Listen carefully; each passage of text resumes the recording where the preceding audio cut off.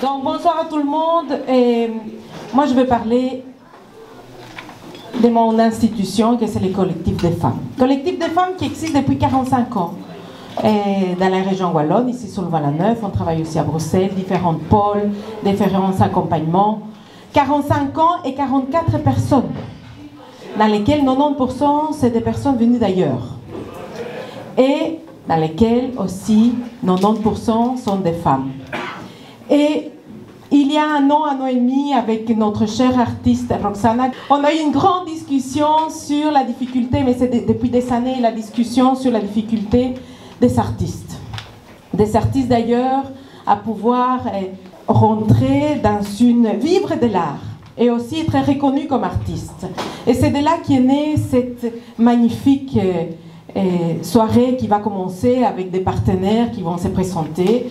Et, j'espère une, réflexion avec des témoignages et surtout peut-être des solutions, etc., sur la difficulté des, personnes d'ailleurs, des personnes racisées, à pouvoir trouver une place dans les milieux artistiques. Il faut dire qu'on est dans une société patriarcale, raciste, dans laquelle c'est très compliqué de pouvoir vivre et aussi la difficulté des femmes aussi à pouvoir émerger comme artistes déjà ailleurs, mais ici aussi. Il faut dire une petite anecdote qu'au XVIIe siècle, en Amérique latine, surtout en Équateur, je viens de l'Équateur, il a des, des, sœurs et poétesses qui faisaient des excellents poèmes magnifiques, vraiment des artistes.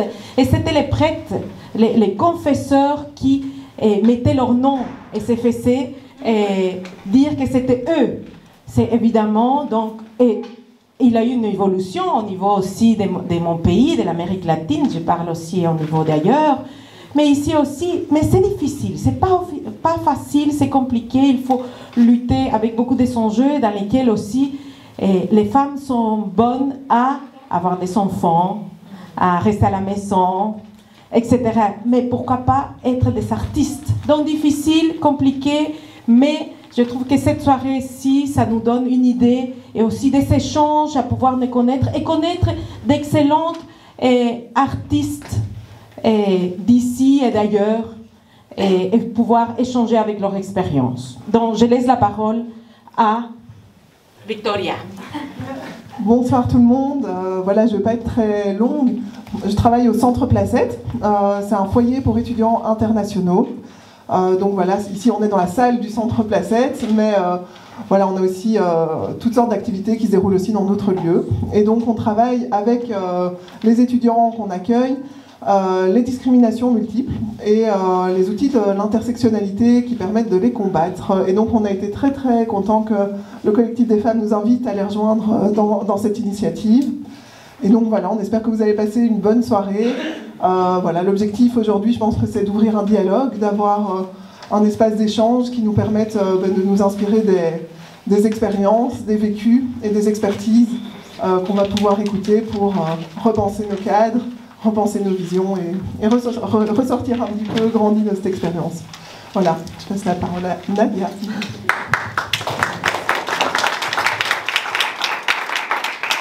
Euh, bah, donc moi je représente l'association PAC, Présence et Action Culturelle. Euh, donc euh, nous on est aussi sur toute la Wallonie-Bruxelles et bah, l'idée c'est de travailler autour de la question de l'art et de la culture, mais vraiment au sens de l'art et de la culture populaire. Et donc on est une association d'éducation permanente et populaire.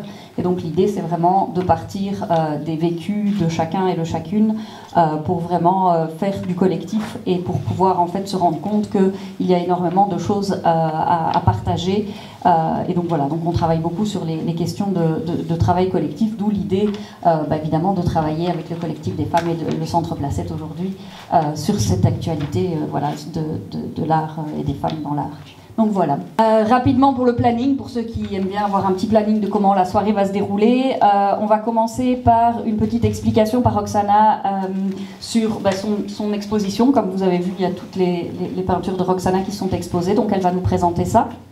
Puis ensuite, on aura Maria pardon, Marie Dara, excuse-moi, euh, qui nous fera un slam.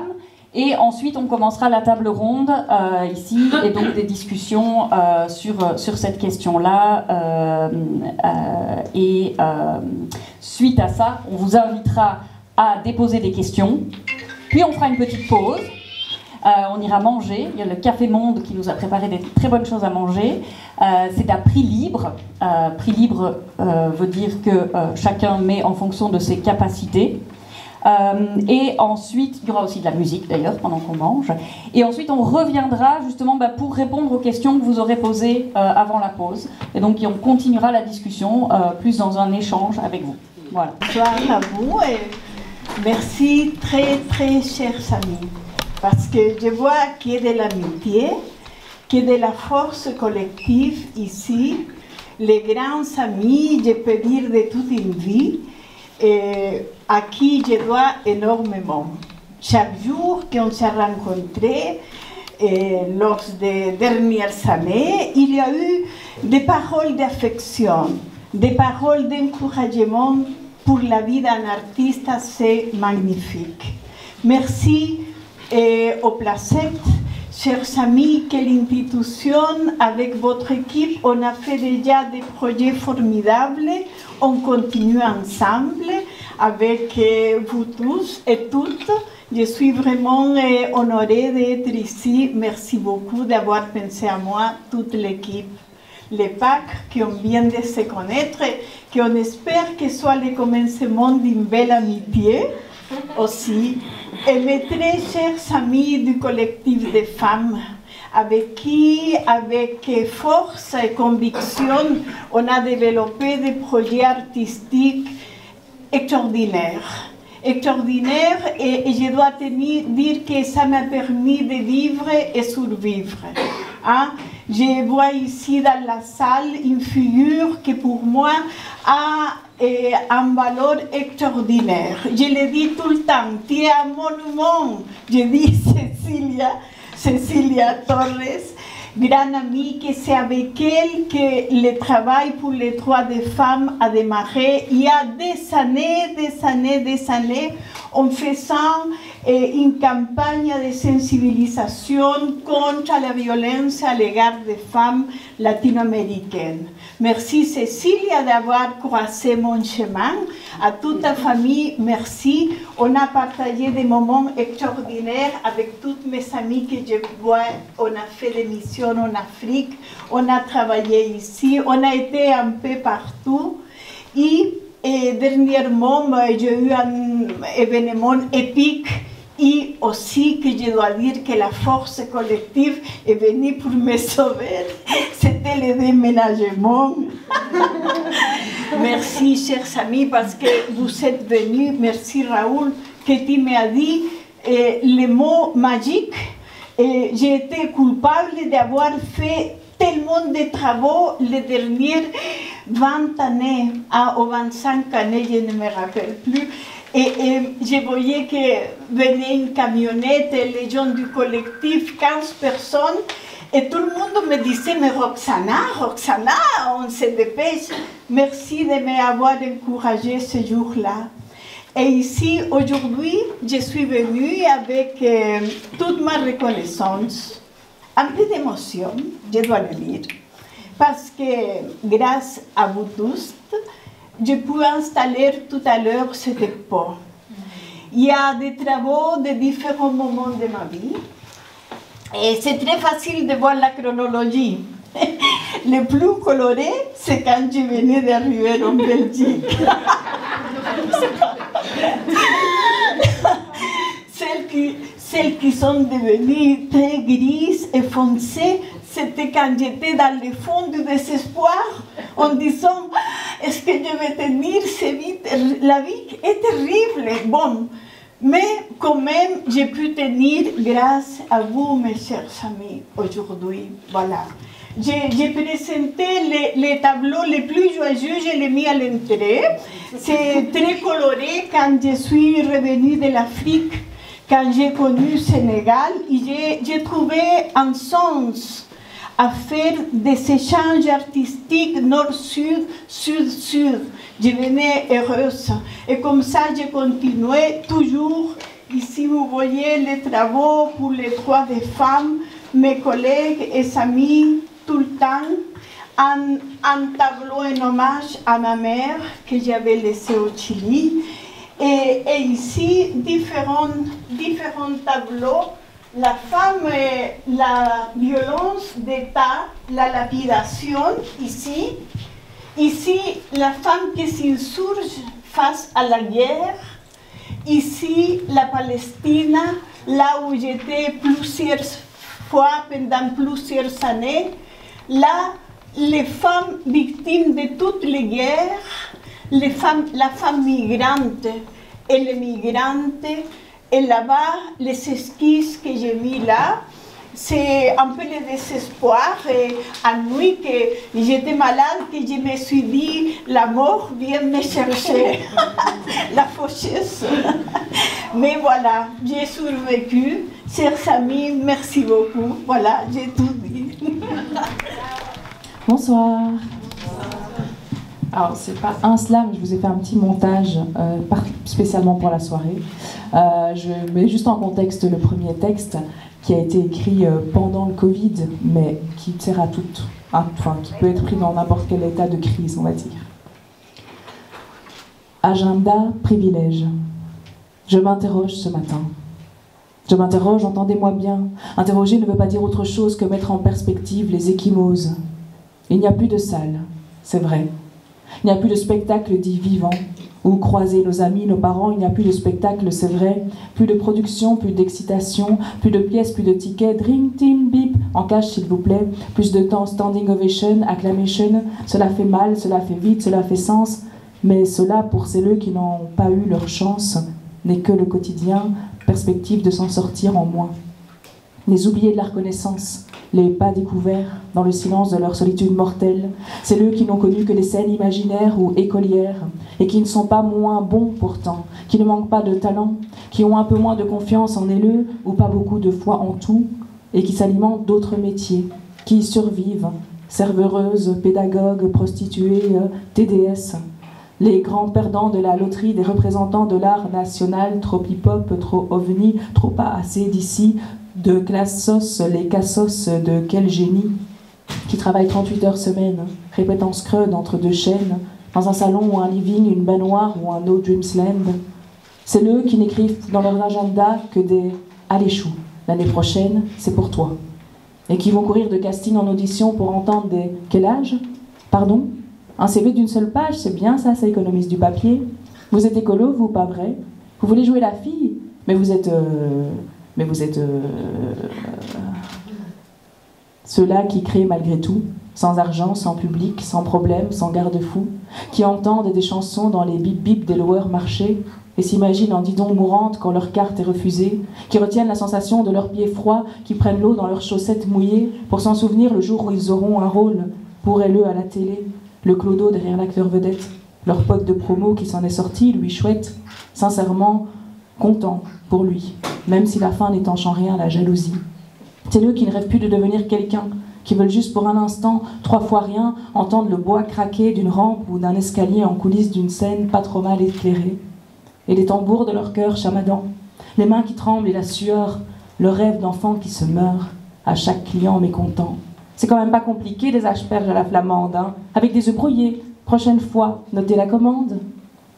Alors je m'interroge ce matin. Je vois des actrices déjà connues qui font des pubs pour les magasins. Je vois des étoiles qui sont perdues. Comment on fait sans contrat? Qu'est-ce qu'on note dans nos agendas? Ben, comme c'est eux qui n'en ont pas. Sans CDI, sans CDD, sans C1A, qui n'ont pas eu la chance d'en avoir, qui regardent leur grandir leur désespoir, qui notent de moins en moins gras dans leur agenda Allez, chou, l'année prochaine c'est pour toi. Plus de restaurants qui les exploitent, plus de bars où noyer leur chagrin, plus l'occasion d'aller danser en boîte pour oublier de n'être plus rien. Merci.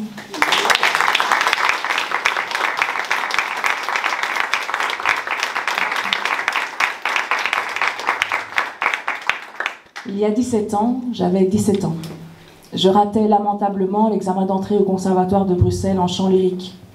Le directeur, M. De Rose, m'humilie je passerai l'examen de solfège en pleurs, ne chantant aucune note. En studio, un an plus tard, paralysé par la peur, impossible de chanter juste à nouveau. Les techniciens en cabine se moquent, laissant le micro ouvert, j'entends. Tentative de suicide, arrêt cardiaque, blackout. Charbon de bois dans la bouche, réveil trois jours plus tard, aucun souvenir. Cette année-là, au conservatoire, on m'a dit que j'étais comme une Ferrari avec un moteur de deux chevaux. Belle carrosserie, mais ça n'avance pas. Une athlète tahitienne, belle à regarder, mais qui ne sert à rien. Un an plus tard, on me brisera le cœur. La première fois que j'ai fait l'amour, j'avais 19 ans, mon prof 47. Envoyé chez lui parce que je n'articule pas assez à cause de mes lèvres trop grosses. Un autre me dira Je n'arrive pas à t'inculquer la matière, tu es trop hip-hop pour moi. Je viens de Charleroi et j'ai fait 10 ans de chant classique. En sortant du conservatoire, je comprends que je suis une personne racisée, eux. À ces mots, arrêtez de nous contacter pour jouer des rôles de métis. Chez nous, vous êtes cataloguée brésilienne. Et vu la taille de votre poitrine, ce sera plutôt des rôles de pute ou de femme de ménage. C'était très bien, mais les parents sont blancs. Donc, euh, voilà. Vous savez prendre l'accent africain?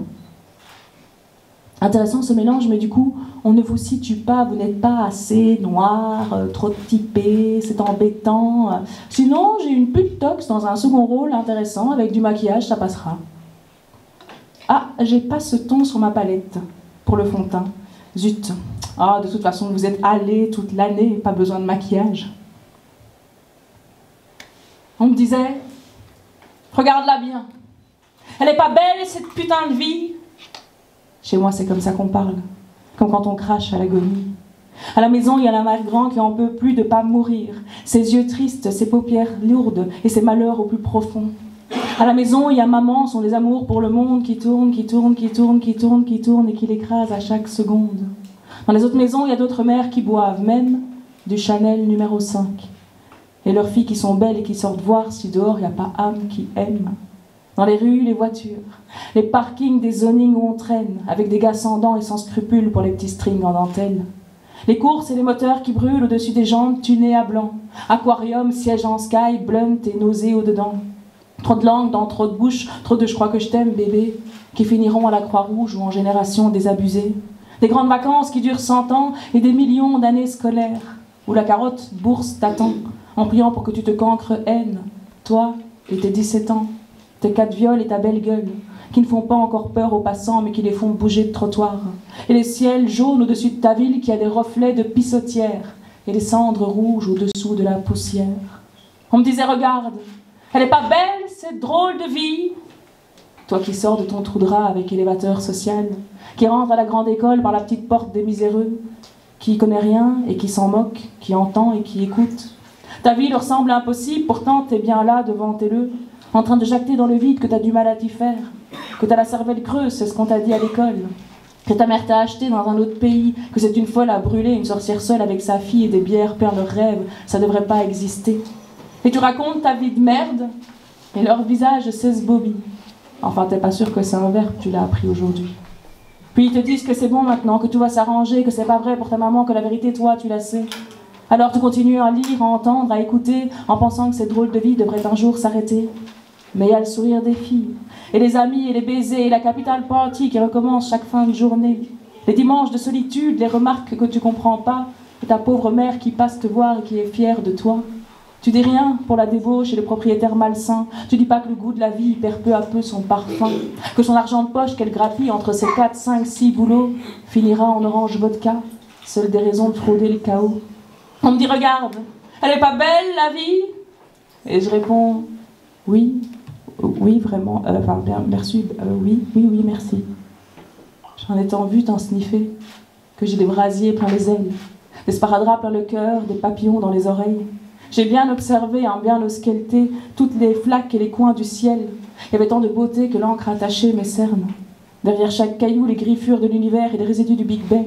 Derrière chaque junkie, tant d'amour, de si doux êtres, sensibles, émus et déchirés leur vie en torrent sans trêve. Derrière chaque prostituée, un enfant, une fille, une mère, des généalogies d'usines à survivre avec du mauve au coin des lèvres et des bleuets dans les chevilles qui se jettent dans les pièges. Elles sont pas belles, vos femmes, vos fintas, fracturées jusqu'à la sève, aux épidermes si velours qu'on s'en estrempirait les veines, leur clairvoyance trop lucide comme des clairs obscurs chromatiques qui dégorgent en coulisses loin du bruit, loin des fuites, sous une avalanche d'émotions et des crues de rage, mais qui sont beaux vos paysages. Quelle est belle la vie, hein Le ravage de la beauté et la lumière qui étincelle, éclairant les années. Elle me dit La vie est si belle, mon ami. Il suffit juste de la regarder. Et je réponds Ouais. Ouais. Mais je voudrais tant l'oublier.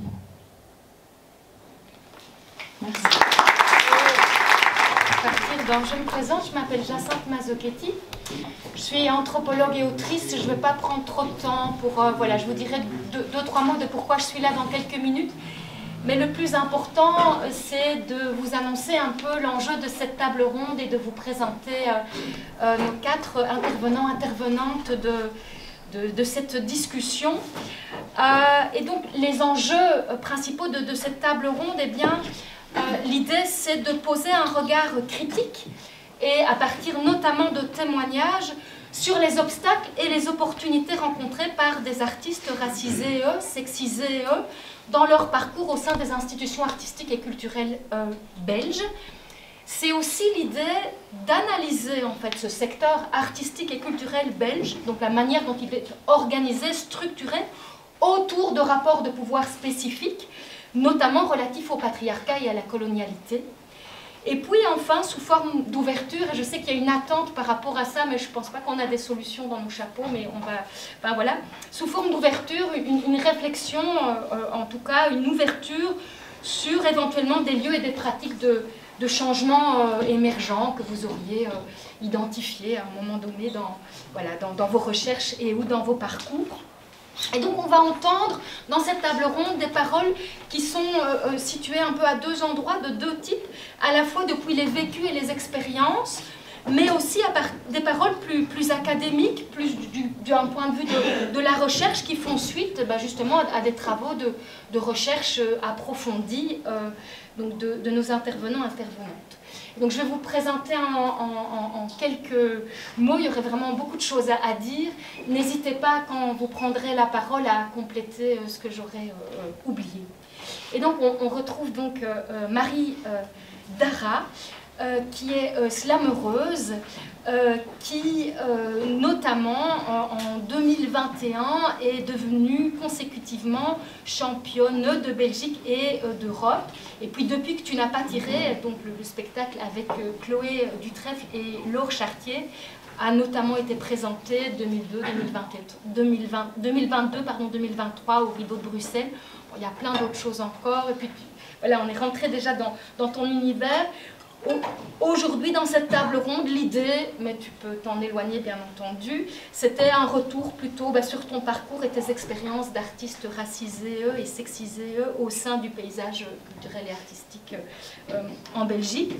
Et puis, bah, on va retrouver euh, euh, Roxana Alvarado, qui nous a déjà fait le, le, plaisir, évidemment, de nous partager quelques mots autour de cette incroyable exposition qui est artiste plasticienne et maître verrier belgo-chilienne, militante aussi hein, pour les questions de droits des femmes et euh, qui, depuis son travail d'artiste et ses actions dans le domaine de l'art-thérapie sociale et féministe, eh bien, est aujourd'hui reconnue à la fois en Belgique et, au-delà de, de, la Belgique voilà, sur ces différentes questions et enjeux. L'idée, c'est aussi d'être plus sur un, retour à partir de, ton expérience et, euh, euh, je, sais que tu avais envie de mettre notamment en avant les questions euh, financières, en fait les difficultés spécifiques euh, pour les artistes, à plus forte raison, les femmes artistes euh, venues des Suds, c'est comme ça que tu les nommes.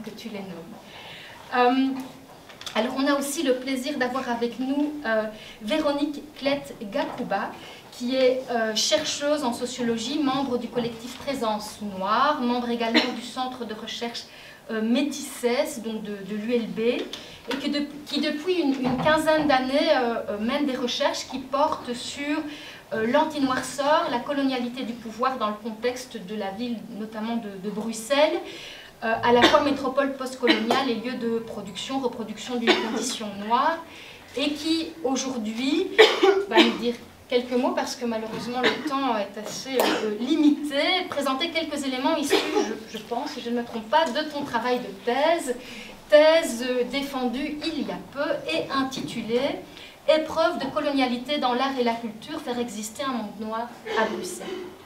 Et puis à côté de moi, alors on n'a pas eu le temps de se voir avant, et donc je ne suis pas certaine de la manière dont on euh, dit ton nom de famille. Nour, Nour Outojane. Parfait. Nour Outojane. Alors, tac, tac, tac, dans ma petite feuille.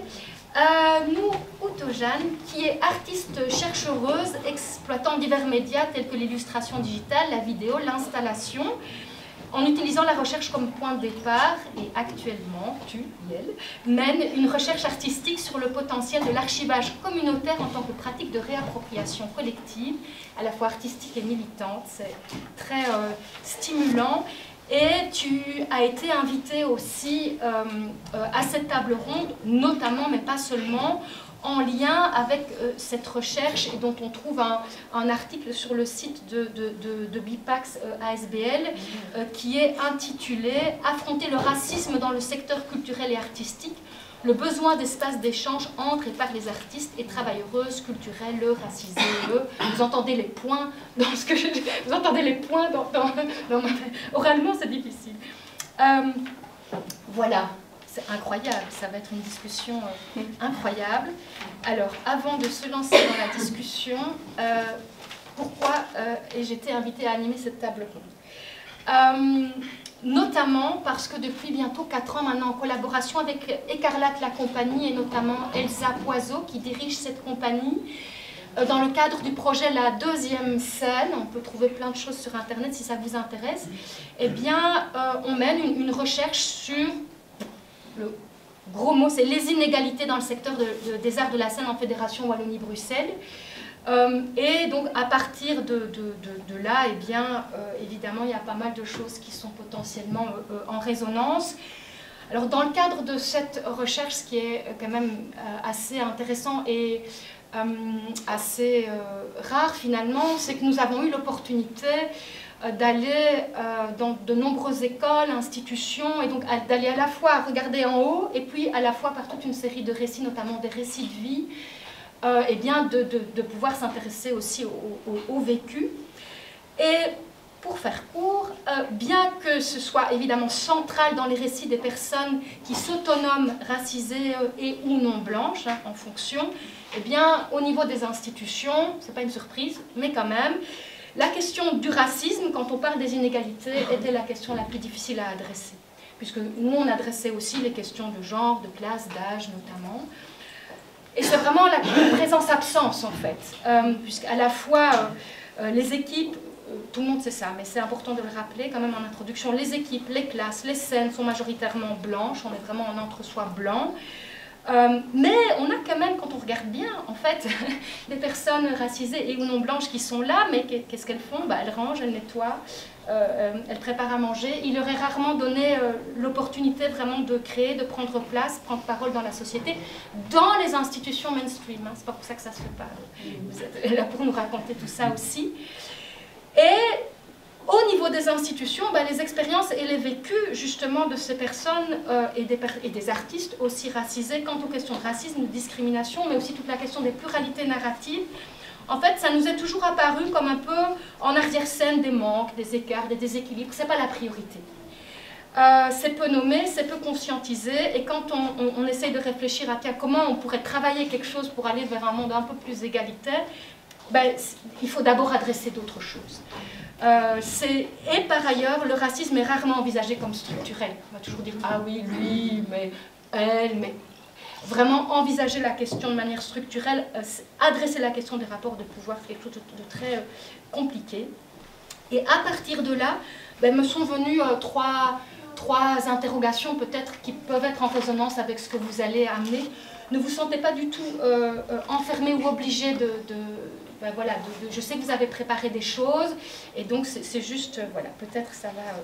Je me suis dit, tiens, ici, l'idée était quand même de se projeter vers quelque chose de changement structurel, institutionnel. Bon, trois, trois, trois choses qui me sont venues. La première chose que nous, on a travaillé à faire, c'est vraiment... Euh, s'intéresser au vocabulaire et par exemple ne plus utiliser les mots diversité, ne plus utiliser les mots notamment inclusion, qui nous sont apparus comme des mots pièges, qui, qui, sont, qui se volent à politique, euh, en dehors des rapports de pouvoir, et donc peut-être de réfléchir à, est-ce qu'un premier déplacement peut-être pourrait être de penser les questions ben, plutôt en termes de droit, de politique publique, de rééquilibrage sociétal, de justice sociale, plutôt que de diversité, d'inclusion.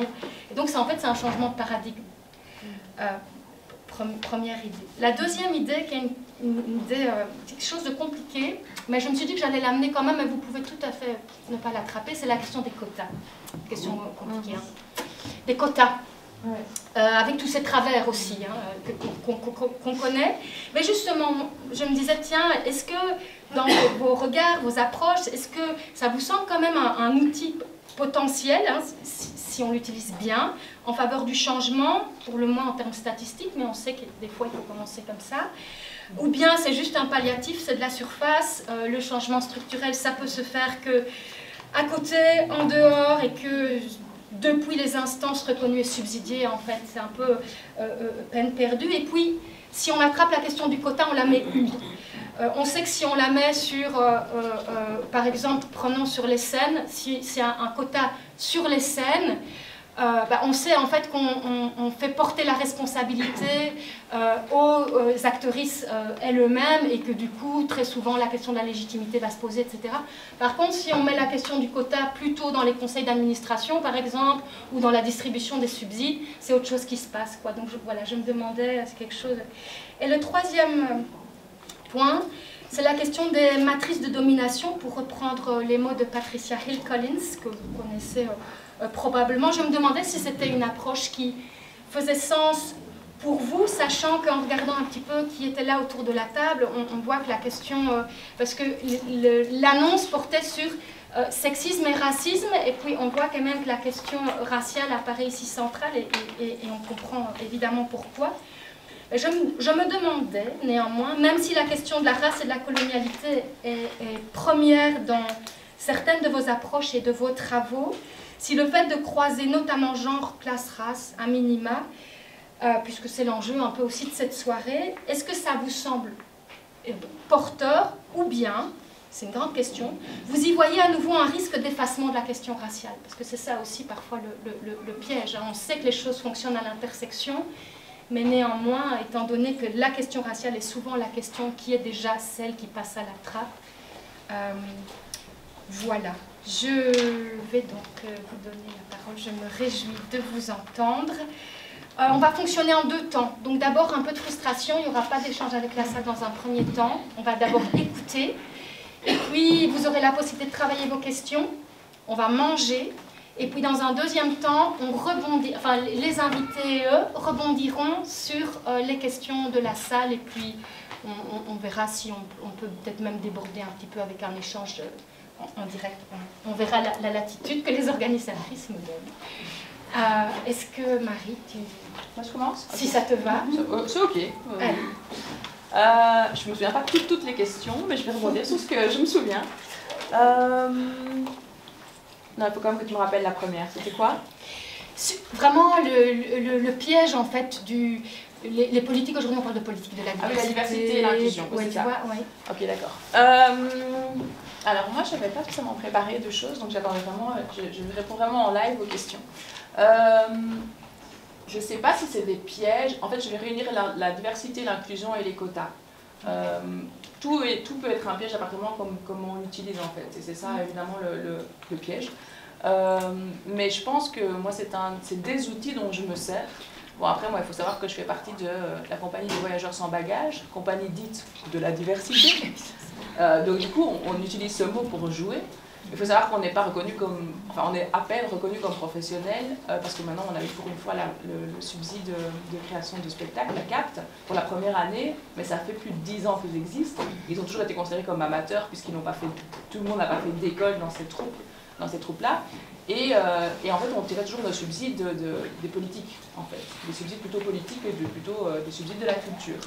ce qui a quand même réussi à ce qu'on enfin que eux, parce que moi je viens d'arriver en, en 2019, mais qui, quand même qui génèrent assez bien leur, euh, leur compagnie. Euh, en termes, pour le mot inclusion, en fait, voilà, c'est ça pour moi, c'est des jeux de mots pour savoir où aller prendre l'argent, en gros. Ah, Euh, parce que du coup, c'est notre, parfois notre seul. Parce qu'en fait, tous ces mots, ils sont bien jolis. Et pareil pour les quotas, euh, moi personnellement, je ne vais plus voir de spectacle s'il n'y a pas une distribution assez diversifiée. Par exemple, s'il n'y a que des personnes blanches sur une affiche, je ne vais plus voir un spectacle. Parce que je ne vais plus donner mon argent à, quelqu'un qui n'a pas réfléchi à ce que sa, distribution ressemble à Bruxelles ou au monde, c'est-à-dire qu'il n'y a pas que des personnes blanches. Donc à partir du moment où c'est un plus de seul en scène, parce que forcément quand est seul en scène, voilà, mais à partir du moment où il y a plus de plus d'une personne en scène, s'il n'y a que des personnes blanches, euh, je ne vais pas voir le spectacle. Parce que je me dis que c'est ça ma force, et c'est comme ça que j'utilise les quotas. Voilà. Après, quand tu as parlé de remettre la, la, la responsabilité sur euh, du coup les comédiens, comédiennes, évidemment ça doit être fait par deux axes en même temps. Mais après, moi aussi, parfois, ben, je suis quelqu'un d'assez radical, donc je préfère le prévenir à l'avance. Quand il y a des comédiennes à moi blanches qui se plaignent parce que dans la distrib, ils entendent des trucs racistes, et en plus, il n'y a personne de noir dans la distribution ou d'un étranger, on va dire, même si étrangère, pour moi, ça veut rien dire. Euh, ben, je leur dis, ben oui, mais du coup, pourquoi tu as accepté? Alors je sais qu'il y a aussi une part de responsabilité en tant que comédien comédienne et je sais que j'ai bon dos de dire ça puisque à partir du moment où moi je suis dans une distrib, je coche plein de quotas. Puisque je suis intersectionnelle, je suis à fois racisée, je suis une personne trans, de genre fluide. Donc du coup forcément quand je suis une distrib, il y a au moins moi qui fait une balance et donc moi je suis jamais obligée de partir. Mais après évidemment, c'est pas pour mettre euh, une responsabilité sur mes collègues de elles n'ont pas beaucoup de boulot non plus puisque les subsides sont mal répartis et qu'il n'y a que la, c'est toujours les mêmes qui travaillent, etc. Et donc je les comprends aussi que c'est hyper difficile de renoncer à un boulot. Et j'avoue que je ne le fais que depuis que j'ai eu ma petite notoriété, depuis qu'on m'a donné des prix, et que je peux enfin me permettre de refuser certains contrats et expliquer pourquoi. Mais je n'avais pas ce poids-là avant, et quand je crevais la faim et que je travaillais dans l'ORECA, évidemment, c'était pas pareil, et j'aurais sauté sur n'importe quel rôle. Sauf les rôles d'accent africain que je ne sais pas faire, hein, comme j'en ai parlé dans mon texte, euh, qui n'existe pas en plus l'accent africain. Voilà. Euh, mais après, voilà, je peux parler que d'un point de vue hyper personnel avec mon parcours de vie qui fait aussi que je ne peux pas non plus représenter les personnes racisées avec une autre culture puisque moi j'ai été élevée ici et je pense que dans la majeure partie des cas les gens que je vois sur scène qui sont racisés sont des gens qui ont été élevés ici moi de ma promo en tout cas au conservatoire de mes deux promos parce que j'ai doublé les seules personnes qui ont terminé le conservatoire je pense qui étaient racisées on était peut-être trois max quatre et on était des gens totalement assimilés à ici ou qui étions nés et qui ont été élevés ici. Rares sont ceux qui venaient d'une autre culture euh, de, de notre pays et qui allaient jusqu'à la fin de leurs études. On se demande pourquoi. Je suis retournée au conservatoire il n'y a pas longtemps donner des cours. Le- la bascule de, de- on va dire, de colorimétrie de la peau n'avait toujours pas changé. Il y avait une seule personne dark skin au conservatoire. Et quand j'ai dit aux élèves, regardez autour de vous, ils s'en sont rendus compte seulement là, à ce moment-là, et les profs aussi. Donc je trouve qu'il y a toujours un énorme problème, et vous l'avez entendu dans mes études, je pense que j'avais complètement intégré ce racisme euh, institutionnel euh, et des institutions euh, éducation aussi, parce que ça que dans l'éducation, ça compte, enfin pour moi c'est ça aussi le départ, il est là le problème en fait. On n'a pas accès à toutes les études, euh, on n'a pas, on n'est pas partout. Enfin on a accès à beaucoup d'études en Belgique parce qu'il y a beaucoup de bourses et tout ça, mais après il faut voir en fait tout ce qu'on doit traverser comme racisme institutionnel, racisme institutionnel, etc. Mais voilà, donc quota, diversité, inclusion, pour moi, c'est des outils qui doivent être utilisés intelligemment par, et par nous en tant que consommateurs, consommatrices aussi, parce qu'en fait, on a ce poids-là. Euh, J'en ai parlé tout à l'heure, moi je boycotte le national pour diverses raisons qui sont les miennes, notamment parce qu'en plus moi je suis quelqu'un d'antispéciste et du coup je n'aime pas l'exploitation des animaux, Euh, mais pour d'autres raisons aussi. Il y a des institutions dans lesquelles je ne vais plus en fait. Je ne donne plus mon argent à ces institutions puisque ce qu'elles en font, c'est pas quelque chose qui ressemble à mon quotidien avec des gens qui viennent de partout, avec des différentes cultures. Euh, je sais plus c'était quoi ta troisième question. Mais, mais j'ai envie de rebondir encore sur le quota, si tu veux bien. Oui, bien sûr. Euh, de, de ton point de vue, l'institutionnaliser, c'est-à-dire en faire vraiment une politique publique, hein, donc c'est-à-dire obliger les institutions à, enfin voilà, à vraiment Mhm. adresser cette question-là, c'est c'est quelque chose que tu penses qu'il y a quelque chose qui, qui, qui ferait sens? Euh, pour moi, mais avec la, avec la radicalité aussi de dire dans les deux sens. C'est-à-dire, euh, où vous faites ça, oui, mais c'est aussi les subsides. Oui, euh, que, que tu, en fait, qu'il y ait un quota à tous les niveaux et pas qu'à un dernier niveau et on a que les, sur les mêmes personnes en fait. Mais oui, moi je suis pour euh, l'emploi des quotas, mais bien utilisé quoi. Et après, on a vu que, je pense, en Flandre, euh, le- ils ont appliqué ce système de quotas un peu plus qu'ici, ou alors c'est passé d'une manière différente. Et du coup, ils se sont mis effectivement à avoir des distributions beaucoup plus diversifiées. Par contre, l'accueil de ces publics n'était pas toujours extraordinaire, puisqu'en un coup, ils ont fait une bascule, ils se sont retrouvés à inviter des gens qu'ils n'invitaient pas. Et donc, je sais, par, par avoir entendu des, des témoignages, que du coup, c'est chouette, ils le font, mais le racisme institutionnel que ces personnes se prennent quand elles arrivent dans ces, dans ces institutions qui sont obligées par quota de changer est hyper violent et n'est pas du tout OK. Il y a des situations pas du tout OK. L'équipe d'accueil n'est pas prête à accueillir des gens, que ce soit racisés, trans ou euh, toute, toute diversité confondue. hein. Euh, il y a encore beaucoup de racisme ordinaire, intégré, racisme systémique, de réflexion, etc. Mais moi, oui, dans un premier temps, ou alors en tout cas pour une, première des, une des premières options à essayer, oui, je suis pour les quotas, mais avec évidemment du recul sur ces quotas, comment, euh, qui en souffre, euh, est-ce qu'on met des quotas partout, est-ce qu'on met enfin des quotas dans les CA, dans les... Voilà, parce que ça aussi, en fait, moi on m'a invité dans un CA et je suis la seule personne, je suis désolée de dire ça, mais à mon avis de moins de 40 ans, euh, trans, euh, racisée. Et je suis dans un CA et, je vois bien que je détonne et que, je sais pas, ils n'ont pas l'habitude. Et je viens avec des questionnements qui n'ont même pas réfléchi parfois. Donc je pense que dans les CA aussi, mais à tous les niveaux, en fait, il faut euh, mettre ce quota. C'est pas que un, que un si bien niveau, sinon ça va refaire évidemment. Et je voulais aussi préciser qu'il y a toujours le piège de refaire du néocolonialisme sur du colonialisme. J'étais à la Monnaie lundi avec le prix Nobel 2021, euh, M. Bourna, Abdourazak Bourna.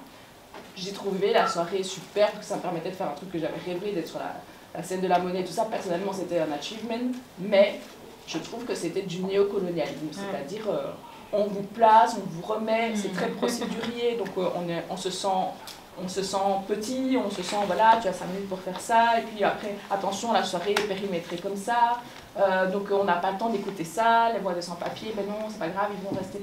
Oui, mais en fait, l'auteur parle de ça, et puis voilà, et puis moi, personnellement, mais j'ai mis du temps à processer cette soirée, par exemple, je me suis pas sentie toujours à l'aise, même par rapport à ce qu'on voyait sur scène, il y avait une chorale engagée de 70 personnes, mais c'était 70 personnes blanches avec une noire qu'on a mis au milieu, qui était derrière les présentateurs. Et du coup, je, mais visuellement, en fait, cette chorale, elle, était super. Enfin, je veux dire, j'ai rien contre la chorale et ni contre les personnes qui y sont. hein. Mais je veux dire, visuellement, son impact, ça faisait quand même 70 personnes blanches qui écoutaient. Le- un intervieweur était noir, M. Gourna est noir, je pense, mais c'est plus, euh, plutôt ma couleur de peau, on va dire. Mais je veux dire, moi je, moi, je vois des choses comme ça, par exemple. Ah, et je voulais dire aussi, j'ai appris à m'y sensibiliser parce que j'ai dû déconstruire mon racisme interne, analysé. Parce que comme je viens de Charleroi, élevé dans une famille blanche au racisme ordinaire, j'avais un énorme racisme au conservatoire. Et je le dire parce qu'on me dit souvent que j'ai retourné ma veste. En gros, non, j'assume, j'ai été une personne extrêmement raciste. Euh, parce que je subissais du racisme que je ne comprenais pas, puisque je ne comprenais pas pourquoi ce racisme s'adressait à moi alors que j'étais élevée ici. Et donc j'ai internalisé énormément de racisme pendant très longtemps. Euh, on m'a fait perdre mon accent carolo. Euh, je ne comprenais pas avant le lien qu'on faisait, parce que généralement, ce sur quoi on, dit qu'on- on me disait étrangère, étranger, c'était sur des, des- des points de ma classe sociale. Donc pendant très longtemps, pour moi, ça a été complètement compliqué de comprendre pourquoi ce qu'on percevait de noir chez moi était dû à ma précarité sociale. voyez? Donc je ne retourne pas ma veste par rapport à ça. J'ai juste dû déconstruire avec, en sortant du conservatoire et surtout quand enfin quelqu'un, enfin quand j'ai écrit Depuis que tu n'as pas tiré et que c'est un jeune afrodescendant qui me braque, c'est à ce moment-là en fait que j'ai compris que le front est tombé du déterminisme, du racisme, de l'intersectionnalité générale, parce qu'en fait on a plusieurs euh, voitures qui nous écrasent de chaque côté. Et en fait, du coup, parfois, c'est hyper compliqué nous-mêmes de s'en tirer par rapport à ça et de se dire, ok, est-ce que j'ai fait les vrais choix dans ma vie? Est-ce que c'est normal? Est-ce qu'en fait, il y a une vraie raison pour laquelle ça se passe comme ça? C'est hyper compliqué à concevoir de l'intérieur quand, en tout cas, comme moi, on est d'une classe précaire qui n'a pas spécialement eu du recul sur ça, qui ne comprend pas que la société, il y a quand même des tirelles qui sont, des ficelles qui sont tirées, etc. Et voilà, je ne sais pas si j'ai répondu à tout, mais j'ai parlé beaucoup, alors peut-être je repasse à part. Mais merci beaucoup. Et le- la troisième question que tu avais oubliée portait sur l'intersectionnalité. Tu Ah. viens d'arriver Bah voilà. dessus euh, magnifiquement. Voilà. Donc un, un grand, un grand merci. tout à l'heure, tu auras encore l'occasion de. Ok, ça va. Je sais qu'on doit quand même. Donc, on va aller chez, chez euh, Roxane. Si, si tu. Et, et en rapport au. Si tu as préparé. C'est comme. Tu as, si tu as préparé des choses, c'est bien aussi. Mais j'ai réfléchi en écoutant, Ah ben voilà. et en vous écoutant, et, et en fait, oui, et plusieurs choses, violence institutionnelle, et beaucoup de choses. En tout cas, je peux dire que je viens de, de l'Amérique latine. Été élevée dans une famille, euh, on va dire, révolutionnaire intellectuelle. Mais chez nous, l'Amérique latine s'est marquée pour un colonialisme écrasant qui existe encore et qui marque toutes les descendances. hein. Nous sommes nous avons hérité de nos colons espagnols plusieurs choses, écraser tout ce qui est différent. Ce qui est, c'est, le pire, c'est l'Indien. hein. Quand tu veux insulter quelqu'un, tu, tu dis tu es aussi bête qu'un Indien. Voilà. Donc, mais dans, les, dans les, les cultures et les groupes intellectuels de gauche, évidemment, il y a une réflexion, mais dans ces réflexions, c'est, anticolonial, mais c'est machiste. hein? Donc voilà, dans les guerrilleros, la place de la femme est un peu écrasée. Moi, j'ai, quitté mon pays pour des raisons politiques. Sinon, je pense que je n'aurais jamais parti parce que j'étais quand même heureuse dans le sud de Chili. Et, mais ça me rend compte qu'en arrivant ici, avec l'idée que j'allais partir tout de suite, et, et voilà, et que les années passées, je suis venue en exil. Nous étions des exilés politiques, c'est-à-dire avec l'interdiction de rentrer à notre pays, parce qu'on était dans les listes euh, faites pour Pinochet. Donc la première fois que j'étais dans mon pays, euh, je suis rentrée pour l'Argentine. Donc voilà, mais quand j'étais ici, je voyais plein de trucs, quand je sentais, je suis arrivée passer pour les petits châteaux, etc. Et plein de ces émotions, plein de choses, mais je croyais honnêtement que j'allais partir tout de suite. hein. Non, les années sont passées, j'ai resté ici, j'ai fait des études, j'ai fait pas mal de choses, précisément pourquoi? Oui, il y avait violence institutionnelle que je sentais, très bien à l'époque, collectif de femmes, c'est- une de très, euh, il n'y avait pas beaucoup d'institutions qui engageaient des étrangers véritables, des gens venus d'ailleurs, même pas nés ici. hein. Donc, euh, parce qu'on disait, ces personnes, est-ce qu'ils savent, est-ce que les diplômes ne sont pas falsifiés, etc., etc. Donc, euh, euh, mais je peux dire que dans tous ces, ces, ces, ces doubles choses, je pense que mon expérience c'est celle de l'exil amer. Et avec les années, j'ai découvert l'amertume de l'exil, parce que les premières années, j'étais tellement choquée pour les choses que je sentais en Belgique à niveau d'institution, que je suis un peu perdue de vie. hein. Et, alors, effectivement, classisme, plein, plein de choses que j'ai vues sur les autres, et peut-être pour moi, bon, certaines personnes croyaient que j'étais un peu folle. hein. Donc, eh, on me tenait comme une folklorique, un peu bizarre. Et, et peut-être, oui, j'étais un peu folle. Oui, parce que je vous dis, hein, et quand je suis arrivée ici, et, et- et- et, j'ai eu la chance d'avoir rapidement du travail. Rapidement du travail et dans l'art. hein? Et, et vous savez pourquoi? Parce que j'ai travaillé dans une ferme d'accueil, je devais nettoyer et recevoir les gens et j'ai commencé à tout nettoyer. Ma conduite était excessive. Donc les gens m'ont dit, Roxana, elle a perdu la tête, on va lui donner un travail d'artiste. J'ai eu mon premier travail à ce moment-là et ça m'a un peu sauvé un petit peu, hein, parce que j'ai senti un, décalage de tout, de tout, de tout. J'ai dû être parmi des gens majoritairement belges. Chose qui pour moi était difficile. Et j'ai fait des études dans des académies, etc. J'ai eu la chance d'avoir des ateliers toujours. Pas pour que personne m'ait donné un atelier, c'est moi qui me suis fait. Hein. Pendant que tout le monde fumait et tout ça, j'ai vu qu'il y avait une, une pièce, euh, tout débranlé, que je pouvais euh, construire un atelier. Hein. Et je me suis fait un atelier et tout le monde disait Roxana, la petite chilienne, voilà, hein, la petite latina. Une fois que mon atelier était fini, je l'ai verni. Ah, la jalousie me dit Roxana, mais comment tu as eu ça? Qu'est-ce que tu as fait? Et toutes sortes de trucs qui bon, ont marqué un peu mes études, mais j'ai vu beaucoup tout ça. Tout ce que vous dites, je l'ai senti, je l'ai vécu. Moi-même, j'étais peut-être euh, un peu cataloguée d'excentrique. Hein? Et peut-être j'ai de très fortes racines indiennes que je revendique. Parce que je trouve que c'est ça qui m'a permis de survivre dans une solitude très grande. Et dans la partie sud de l'Amérique sont les Peguenses, Mapuche, Huilliche, ma copine Elri. Mais ces sang fiers indiens, ça m'a blindé. Vous voyez, de toute la violence qui a pu m'avoir écrasé à différents moments de, ces dernières années. Hein. Voilà. Et c'est mon expérience, c'est ça, c'est un peu.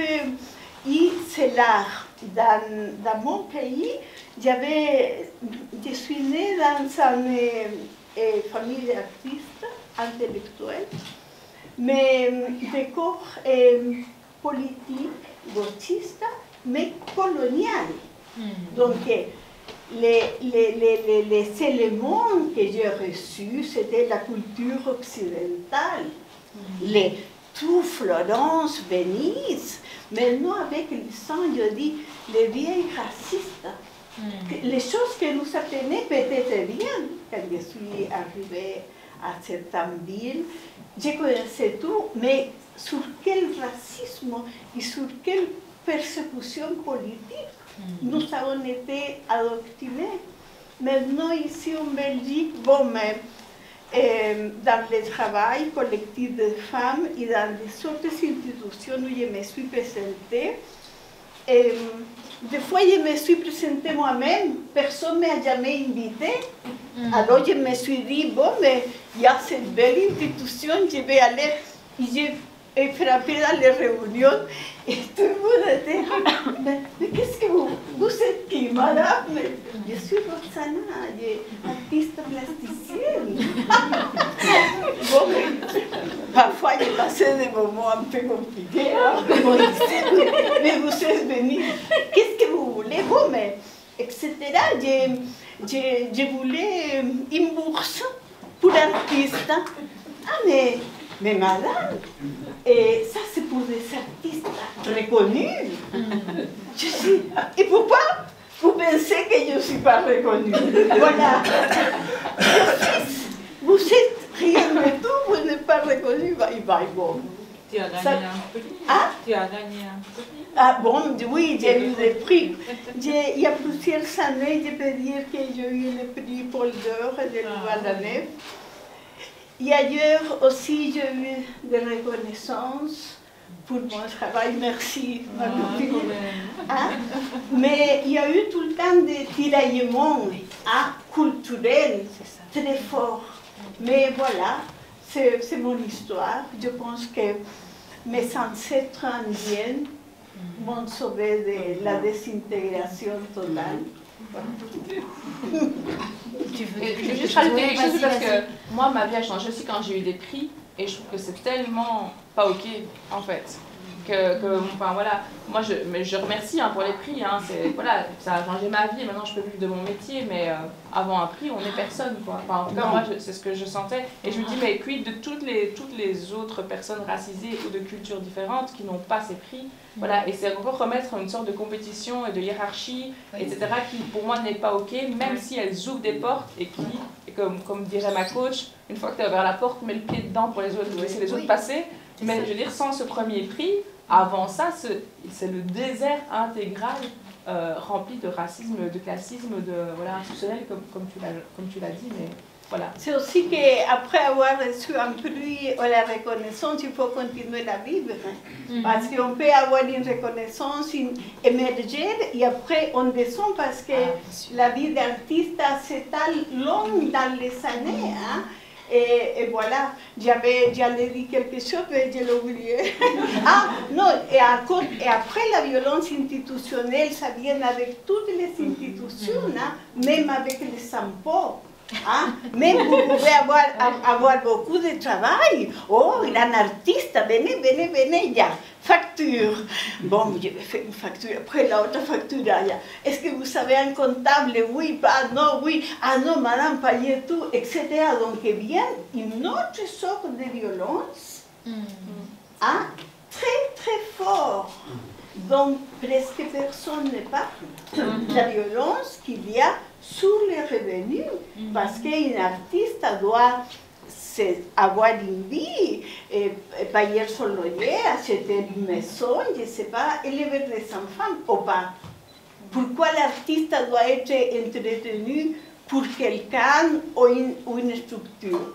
Pourquoi l'artiste ne peut pas avoir une autonomie financière? Sans que les impôts commencent à l'étrangler petit à petit Donc ça, c'est une question super importante. Voilà. Merci beaucoup.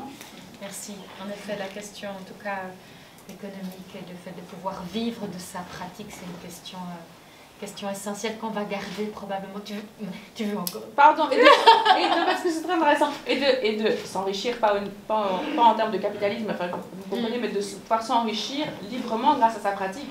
Parce Ouais. qu'en fait, ici, c'est, euh, je suis dans ce cas-là de maintenant je gagne trop, et du coup, on- Mm. et du coup je vais perdre plus. Enfin, je veux dire, on- il y a une sorte de volonté que l'artiste ne dépasse pas un certain niveau, sauf les méga superstars d'en haut. Mais sinon, entre les deux, c'est soit tu gagnes trop et tu redescends, ou alors euh, tu dois passer aux milliardaires d'au-dessus. Mais ah, entre les deux, Entre on dirait qu'il y a une existe. volonté de voilà qu'on qu'on qu'on ça- qu'on ne s'émancipe pas financièrement. Merci beaucoup à toutes les deux. On va, on va arriver chez, chez toi. euh. Tout à fait, et merci euh, bah, aux deux euh, intervenantes euh, avant moi, et à toi aussi, Jacinthe, pour bah, déjà la réflexion euh, qui est bien avancée. Bah, moi, j'avais préparé quelque chose, mais je vais peut-être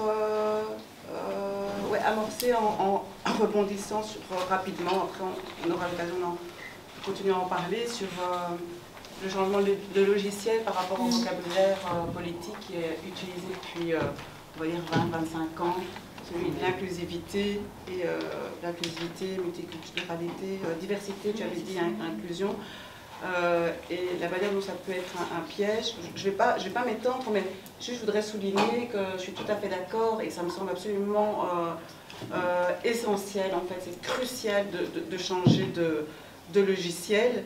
Euh, et peut-être pour reprendre euh, les termes du professeur euh, Emar euh, Bisoka-Nignesi, quand on, est, quand on est avec ces termes-là, en fait, on demande au bourreau de devenir justicier. Et moi, je l'ai vu plusieurs fois dans mon travail de terrain.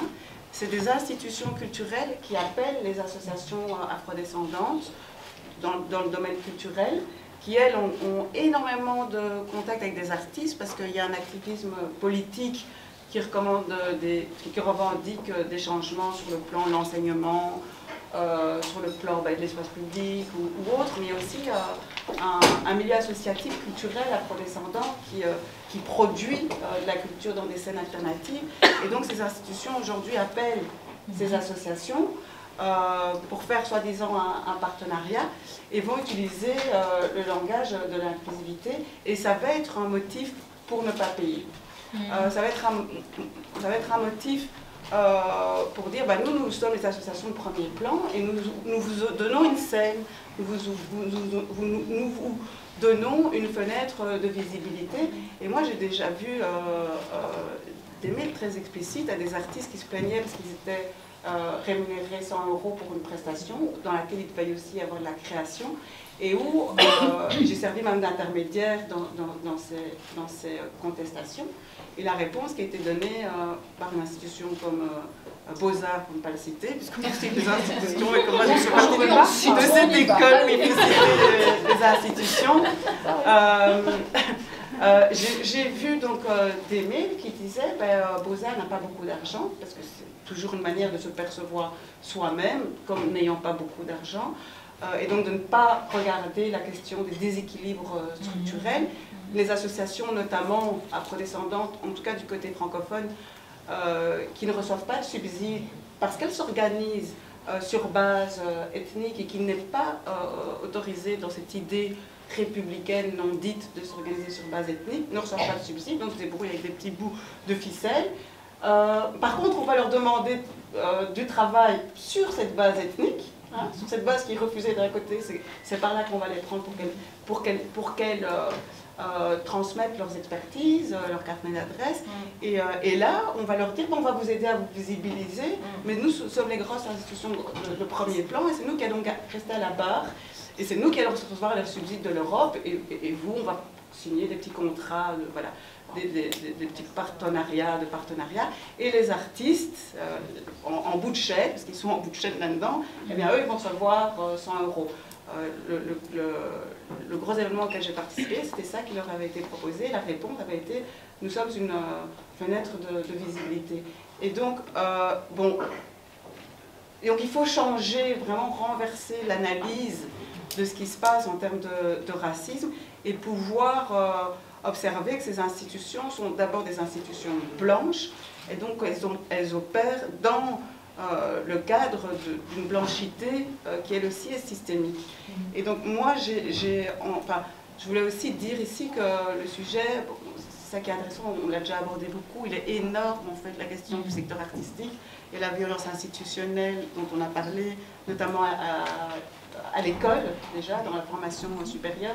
Je sais que toi tu l'as beaucoup euh, montré dans, dans tes travaux, moi c'est très, très clair euh, ce que Marie Dura, Duras, Dura, Dara, euh, faisait témoignage dans le slam, ben, j'ai des, des- des témoignages tout à fait euh, équivalents, surtout dans, dans l'art de la scène, où on voit bien que les corps noirs sont objets euh, et pas sujets.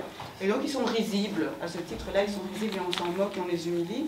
Euh, il y a aussi, j'ai aussi rencontré des artistes qui par- parlaient de cette politique pour les artistes venus d'ailleurs. C'est-à-dire, des- des- il y a un double standard. On s'autorise à leur payer, à les payer, non pas en fonction d'un barème, mais en fonction euh, d'une précarité euh, dans laquelle on sait très bien qu'ils sont. Et on va les maintenir là-dedans. Et donc on les vole, littéralement. On les, on les vole. C'est vraiment de l'ex- l'ex- euh. C'est vraiment de l'extorsion. Euh, et, et- et ça peut aller très loin euh, quand on n'a pas la possibilité de reconnaître, de faire reconnaître euh, sa, euh, son, son- son- son statut d'auteur, son statut d'auteur. Donc je veux dire, ce sont vraiment des, des- des questions qu'il faudra aller travailler avec le, le- le droit euh, quand euh, des, euh, des statuts d'auteur sont, sont volés parce que le producteur a, la possibilité de, de- de mettre sa marque euh, là-dessus. Et ça, dans les rapports Nord-Sud, on le trouve beaucoup. Euh, je suis toujours pas dans ma présentation parce que Euh, euh, et puis euh, la déqualification des œuvres, puisqu'il faut voir un monde de l'art avec différents intermédiaires. Et si, euh, oui, c'est vrai que les, les- les- les- personnes non blanches euh, sont très productives d'un point de vue artistique. Euh, et donc là, il va y avoir des émergences et la, volonté pour des bonnes et des mau- mauvaises raisons de les diffuser. mais on voit bien que les métiers euh, intermédiaires, euh, sont ceux de la critique euh, notamment, là c'est l'absence totale, c'est l'absence totale.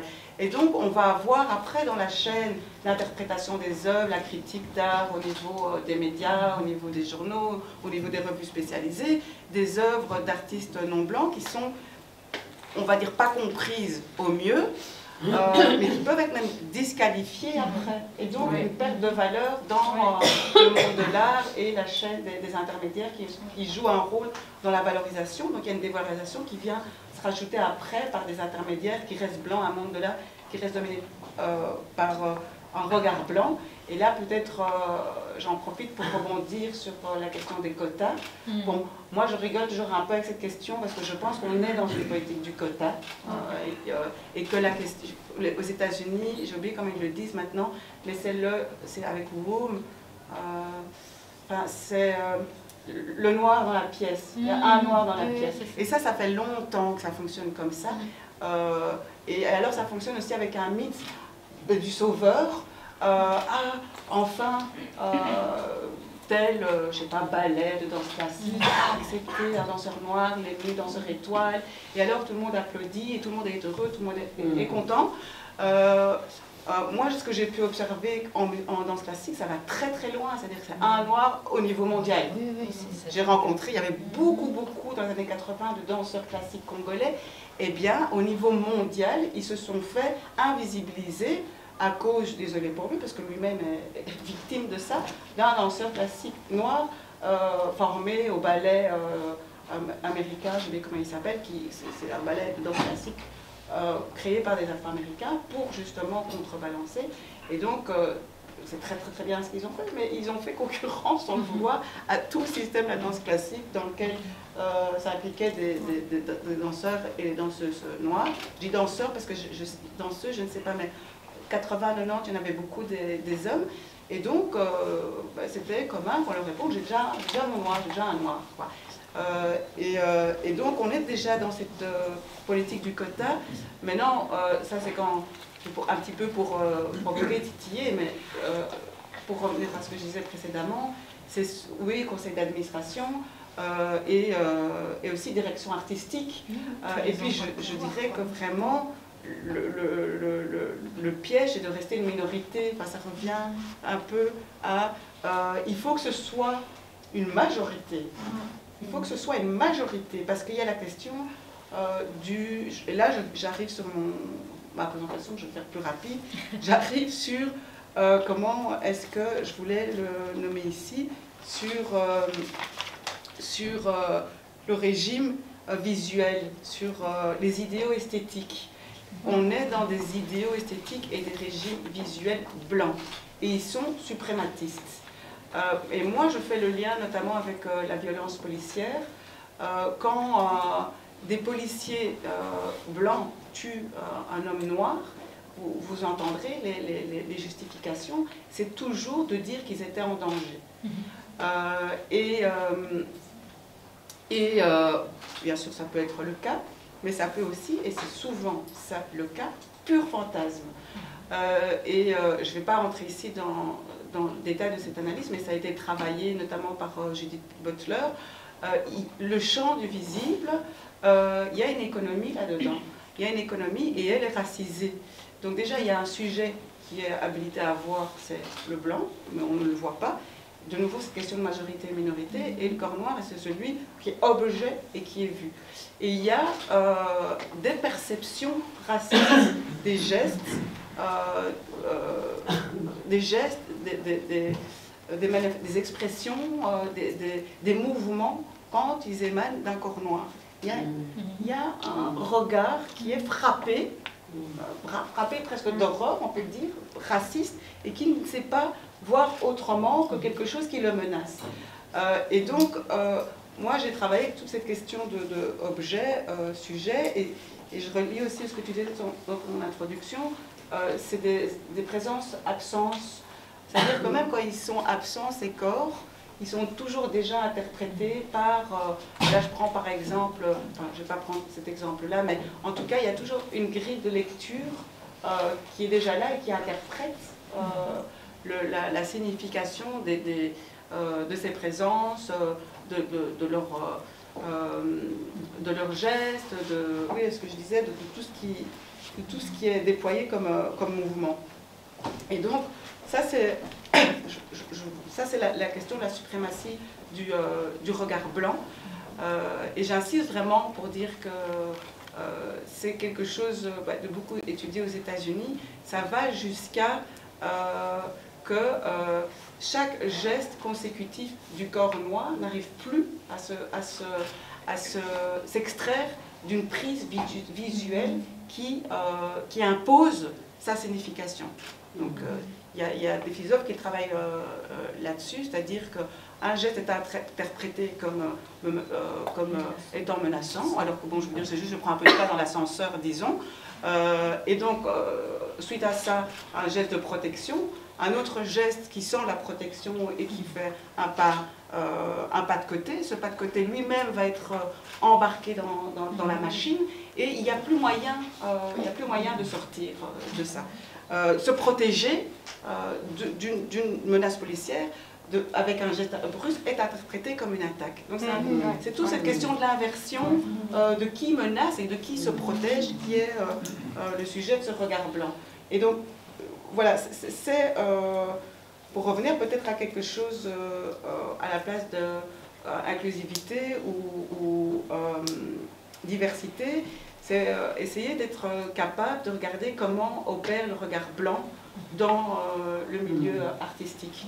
Et un, des, concepts qui est possible de mobiliser, c'est celui de fongibilité, c'est-à-dire que les corps noirs, leur caractéristique est d'être fongibles. Euh, leur est attribué, c'est ça que j'ai essayé de dire maintenant, des fonctions et des formes qui ne dépendent pas d'eux, de leur singularité, mais des usages euh, qui en sont faits. Parce qu'à la différence de la police, où on est dans des scènes réelles, quand on est dans l'art, ben, on joue, entre guillemets. On joue. Certains ont le pouvoir, d'autres l'ont pas. Et, euh, et donc, à la place d'être domptés euh, dans, dans l'espace public, ce que moi j'ai observé, c'est que les corps noirs étaient domestiqués pour justement euh, empêcher qu'ils puissent continuer à euh, être euh, ces, ces objets menaçants. Donc on va tout faire pour qu'ils apparaissent d'une manière qui arrange le regard blanc. Et on ne va jamais sortir de là. On ne va jamais sortir de là. Et donc je vais, je ne sais pas si j'ai encore combien de minutes pour prendre un cas. Bah alors je prends un exemple. J'en avais, je ne sais pas combien. Je réfléchis une minute. J'ai combien de... Une minute. Euh, bah oui, bah, ouais, je, prends, ouais, je prends le KBS, tiens, de nouveau, comme ça je, je cite, euh, qui a fait un, un- un spectacle très très connu, euh, Coup Fatal, euh, qui était une fusion entre musique baroque et musique congolaise, un spectacle qui a fait le tour du monde, 12 euh, musiciens congolais sur scène. Alors que ce sont des musiciens, il leur a été ajouté une très importante dimension théâtrale, visuelle, surexposant le corps de ces musiciens congolais à la vue du, du public.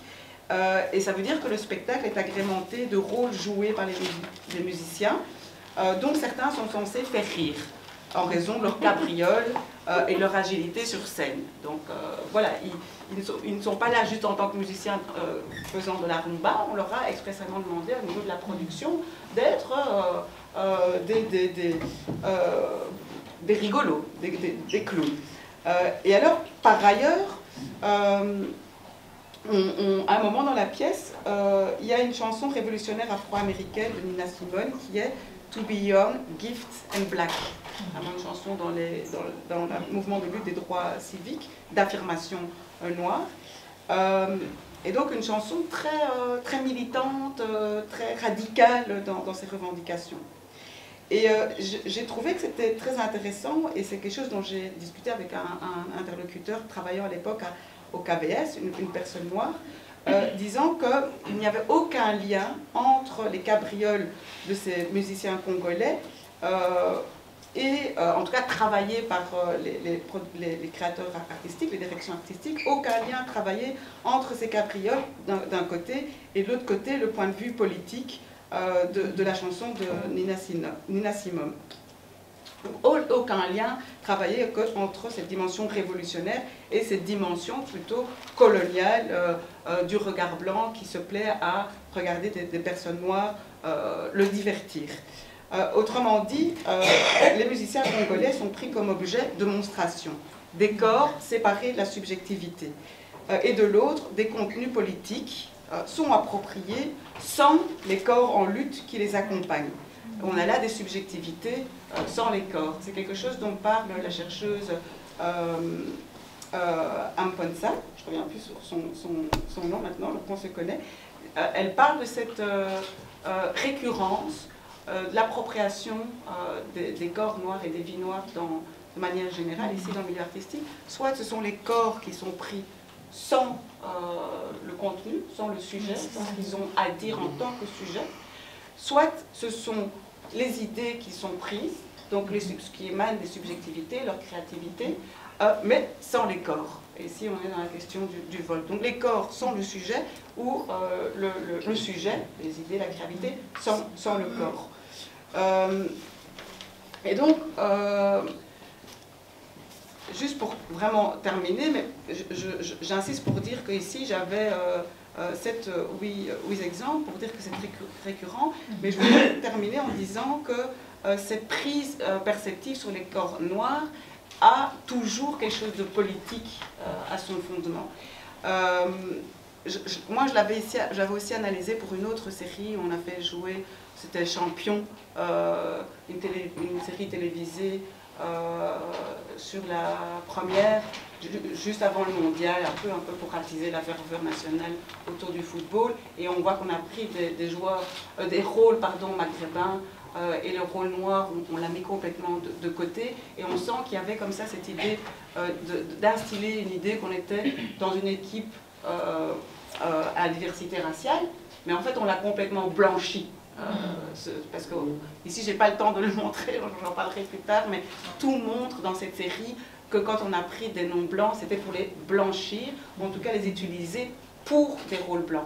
Et pour ce qui est de, de co-fatal, mon interlocuteur a cette analyse très intéressante qui est de dire on était au moment où c'est la fin d'Obama.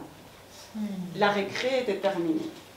La récré était terminée. Donc là où on aurait pu prendre un spectacle où on mettait, toute une puissance, parce que c'est ça qu'il s'agit, des corps et des subjectivités, on délie les deux et on permet euh, euh, à, ce que perdure un pouvoir blanc sur des corps noirs entretenu et maintenu dans ce rôle d'objet de divertissement.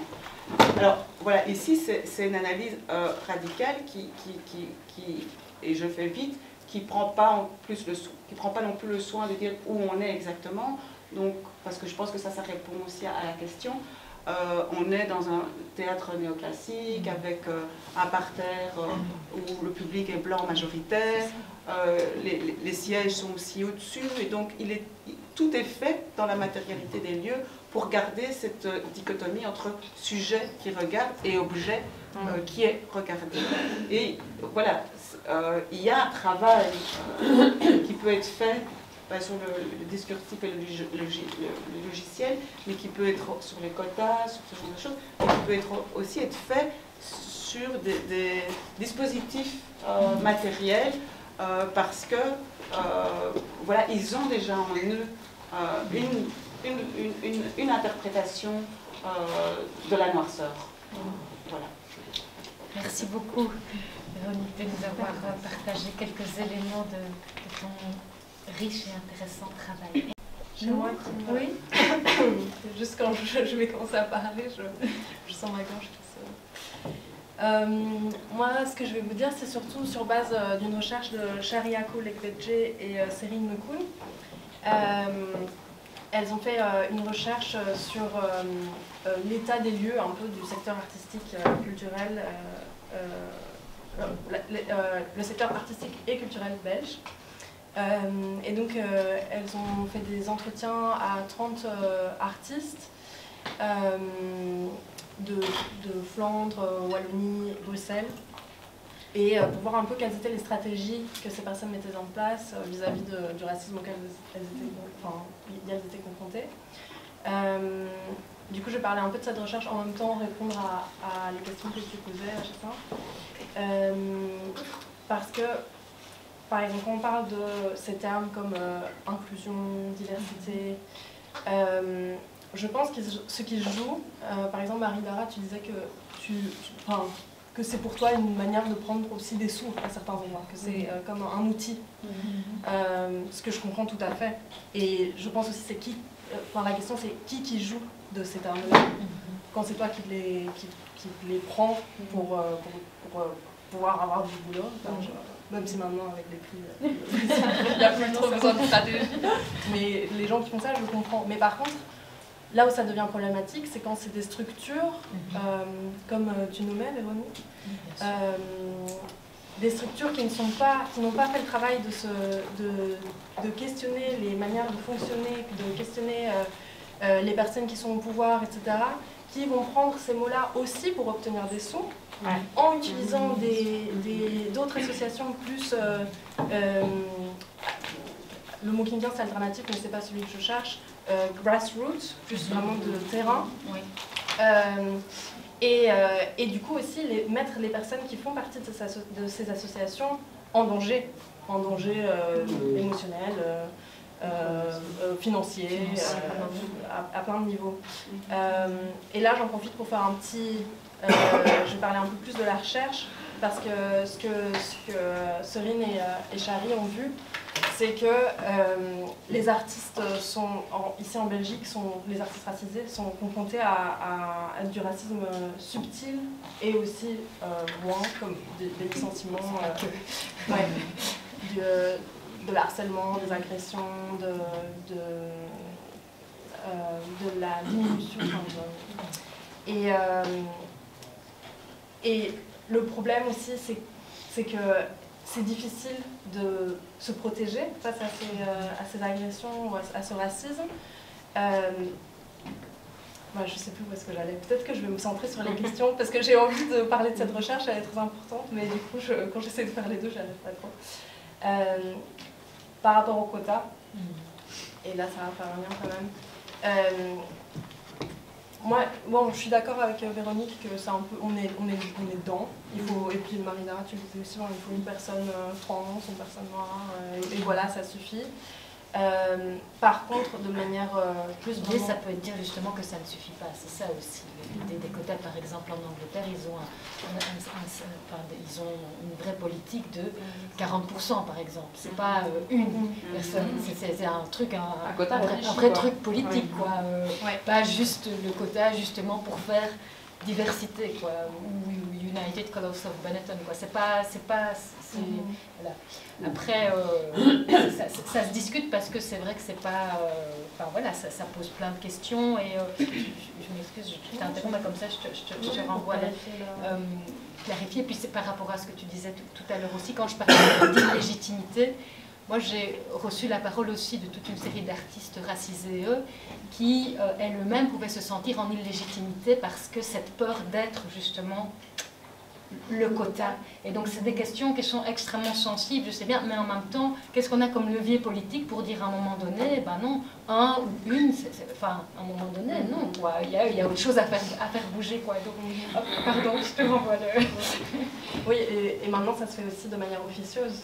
Ce, dont on parle là quand on dit des quotas d'une personne telle, une personne, on parle de, choses qui se font euh, un peu euh, par euh, cette volonté de d'avoir cette image morale du mhm. secteur artistique. Donc ça rentre encore dans des dynamiques racistes en réalité, euh, mais c'est pas de manière officielle. Et si ça l'était, moi je pense que ce serait quelque chose de positif. Parce, juste mhm. parce que ça nous forcerait déjà à avoir des questions, à avoir des conversations au niveau juridique et législatif. On n'est pas du tout de cette manière-là. Sur, ce qui, sur, le point racial. Enfin, mhm. je pense à la Belgique est si loin de mettre en place quelque chose comme des quotas, parce qu'il faudrait, enfin, pour moi, pour le faire correctement, il faudrait déjà reconnaître, enfin, pouvoir parler de race, pouvoir parler de personnes qui, de race sociale, on s'entend bien, mais pouvoir parler de personnes qui sont racisées, de personnes qui ne le sont pas, ce serait pas sur base de est-ce que tu es belge ou pas, parce qu'on sait bien que c'est pas là que la question s'arrête. Euh, du coup, juste pour pouvoir avoir cette conversation, je trouverais ça hyper intéressant. Et avant ça, il faudrait déjà avoir des définitions plus claires de ce qu'est le racisme, de ce qu'est le racisme structurel. Euh, institutionnel, par exemple, j'en passe. Mhm. Euh, avec structurel, euh, je, je fais un peu le, le raccourci. Euh, du coup, oui, parce que ce que j'avais commencé à dire un peu avant, c'est bon, tout- toutes ces euh, problématiques que les euh, artistes racisés rencontrent dans le secteur. Euh, c'est très difficile d'y faire face par, par ce manque de définition claire, euh, de reconnaissance de ce que c'est. Du coup, euh, on va être dans des, dans des cadres très hostiles où il faut se surexpliquer, se suranticiper. et, on, et il va y avoir aussi une, un- dire internalisation, en fait une normalisation de, de, de ces, de ces agressions parce qu'elles sont partout, non reconnues et qu'on va toujours mettre la faute sur la personne qui le reçoit plutôt que, sur la personne qui les, commet. Euh, donc voilà, et puis avait, la, avait de Patricia Oui, l'idée des. En fait, bah, c'était d'adresser peut-être la, la question intersectionnelle. Donc, elle, elle utilise. euh, j'a- J'aime bien sa notion de matrice de domination. Je trouve qu'il y a une notion euh, forte comme ça, parce qu'il y a le mot d'emblée domination. On entend d'emblée la question des rapports de pouvoir. Puis matrice, c'est pas rien. C'est vraiment comment on est vraiment structuré par les questions de race, de classe, de genre, d'âge, tout ça.